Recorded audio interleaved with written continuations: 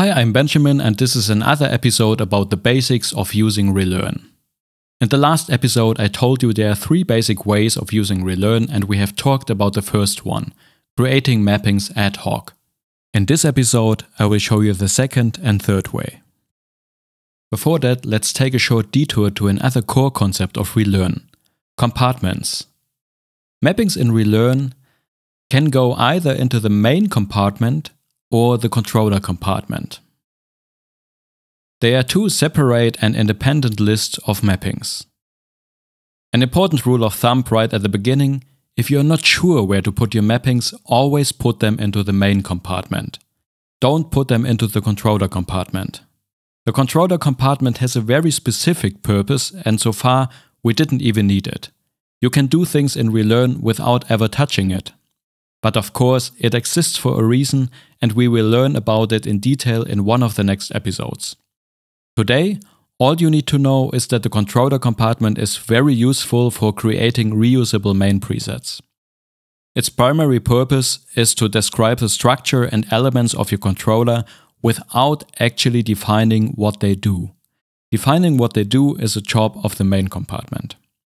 The only way we will interact with the controller compartment today is by choosing a controller preset.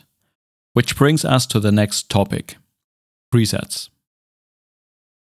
The second basic way of working with ReaLearn is to use ready made main presets.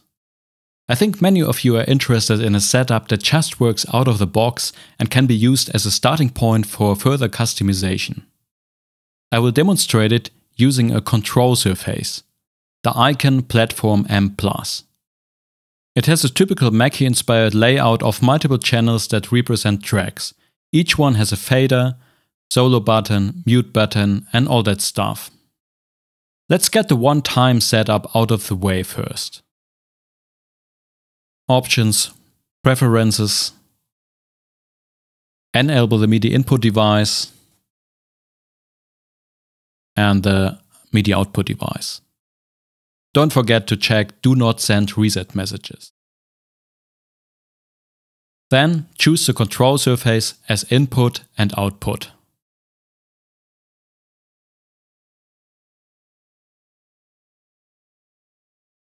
Now it's time to find some presets. Important, we are in the main compartment.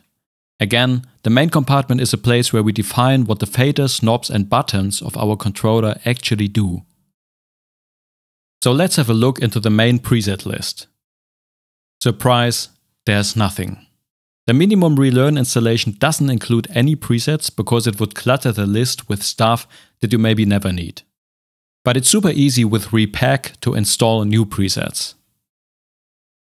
Go to Extensions, ReaPack, Browse Packages. Type ReaLearn. You should see the list of presets here. We are interested in main presets.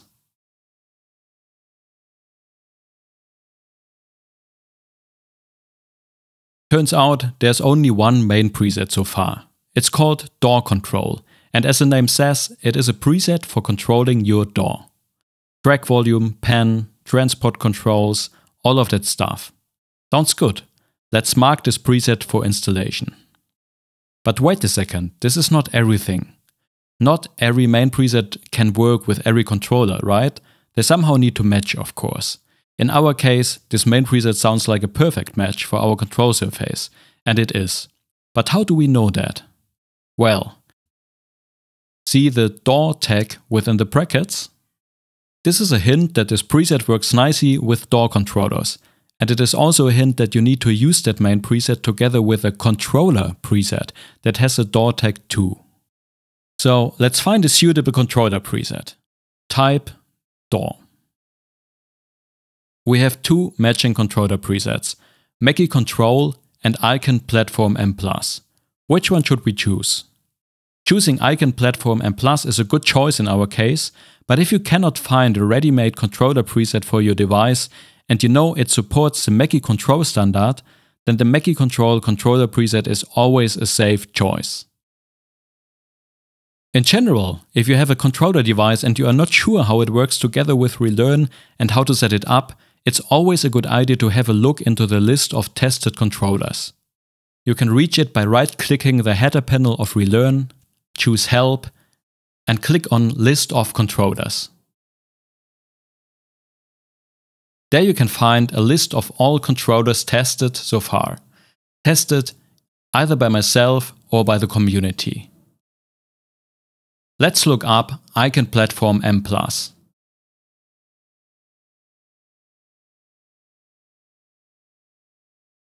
Here it is.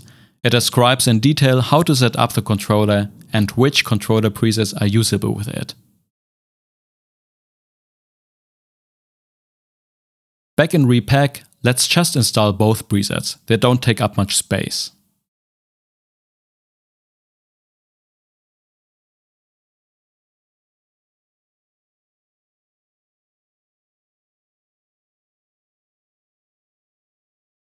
Next, we want to load the controller preset. It's still not visible because we didn't restart ReaLearn, but we can make it aware of the new presets by right-clicking the header panel and choosing Reload all presets from disk. There it is, finally. When you click it, you see that the controller compartment gets filled with mappings. Next, we're going to load the main preset DAW control. Observe the control surface on the top right of the screen. Something happened. We now have a typical DAW control setup. You can change volumes, arm tracks, the motorized faders move, the bank buttons work, the scrub wheel, all that stuff immediately works. Maybe you don't like how some of the things are mapped in the DAW control preset. Maybe you prefer to actually select tracks when changing the channels. You can change all of that by adjusting the mappings of this preset. We don't see any mappings so far because this preset is organized into mapping groups. Let's check what groups we have. That looks quite tidy. Now let's show all groups together. We have 140 mappings in this preset. If we have that many mappings, it can get hard to keep track.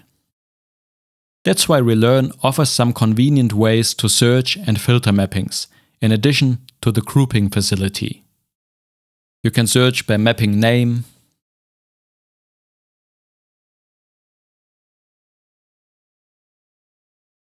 But you can also filter by source. So whenever you touch a control element, you see each connected mapping.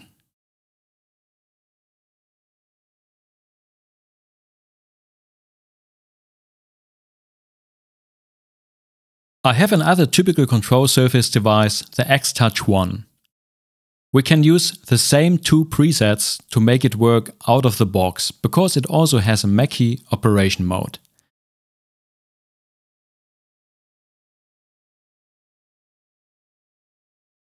As you can see, the displays are working as well. This is interesting. There are controller integration tools that are built just to support the Mackie control standard, nothing else. In ReaLearn, the complete Mackie standard is nothing more than a preset. I think that gives you an idea of its power. And as always, if you don't like how something is mapped, you can change it. Nice, so we have covered the second way of working with ReaLearn, loading ready-made presets. Building and changing large and complex presets, such as the DAW control preset, is absolutely possible by clicking your way through the user interface. But it can get quite tedious and a lot of repetition. For example, all these channels, they have the same structure, and although ReaLearn offers a few ways to reduce the number of mappings, you will find that you still have to create a lot of mappings that look very similar. That's why ReaLearn offers a third way of building mappings, by writing text, in particular Lua code. This is the most powerful way to build ReaLearn setups and more efficient if the setups are complex. You will need a little bit of programming know-how to take advantage of this possibility, but getting started with that is probably easier than you think. Because ReaLearn can help you with it. If you have existing mappings, you can export them as Lua code. Let's try to export the complete DAW control mappings as Lua code. Click Export to Clipboard, and then Export Main Compartment as Lua. Paste it into a text editor of your choice, preferably one that has Lua syntax highlighting. I will use Visual Studio Code.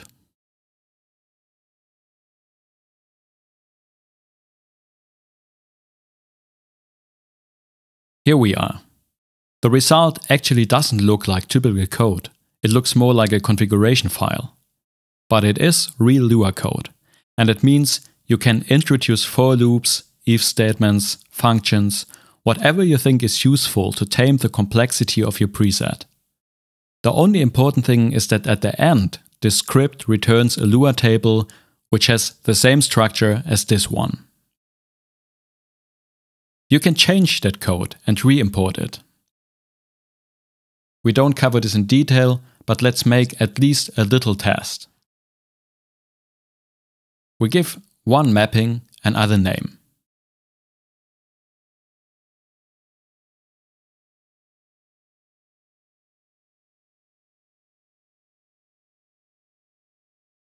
Hello World. Then we copy the complete text, go back to ReaLearn, and choose Import from Clipboard.